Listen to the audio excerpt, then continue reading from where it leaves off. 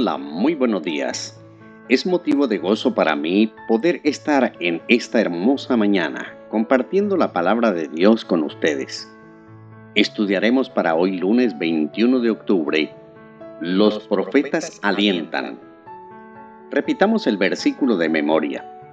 Mas los ojos de Dios están sobre los ancianos de los judíos, y no les hicieron cesar hasta que el asunto fuese llevado a Darío, y entonces respondieron por carta sobre esto. Esdras capítulo 5 versículo 5. Lamentablemente, la oposición que los judíos encontraron en las naciones circundantes, como se describe en Esdras capítulos 4 al 6, los dejó atemorizados y reacios a trabajar en el templo. Como se mencionó anteriormente, Esdras capítulo 4 versículo 6 al capítulo 6 versículo 22 no está escrito en orden cronológico, por lo tanto veremos el capítulo 5 antes que el capítulo 4. Lee Esdras capítulo 5 versículos 1 al 5. ¿Por qué Dios envía a los profetas Ageo y Zacarías a los judíos? ¿Cuál es el resultado de su profecía?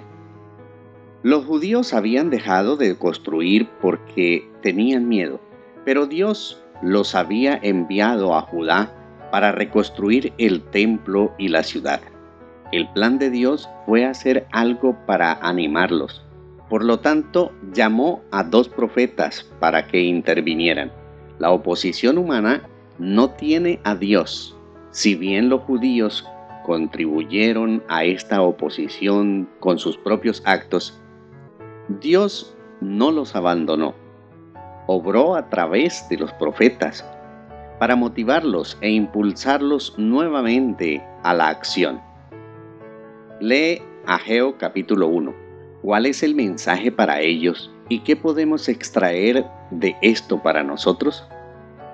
Los profetas Ageo y Zacarías fueron suscitados para hacer frente a la crisis. En sus testimonios conmovedores, esos mensajeros revelaron al pueblo la causa de sus dificultades.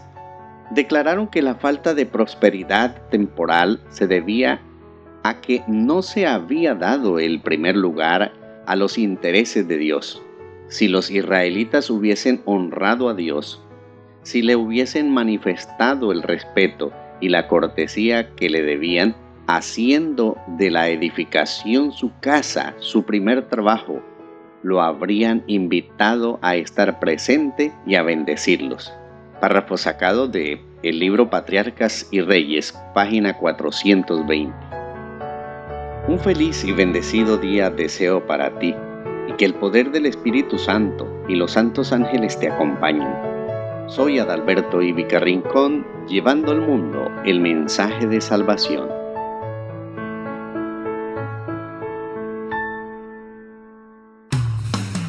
Esta fue una presentación de Canaan Seven Day Adventist Church y DR Ministries. Visítanos en www.devocionmatutina.com o escríbenos a d-ramos28 hotmail.com. Te esperamos.